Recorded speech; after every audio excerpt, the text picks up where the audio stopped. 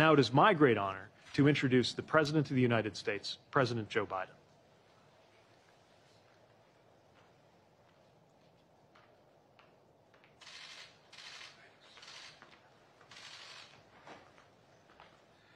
Thank you, Secretary Buttigieg.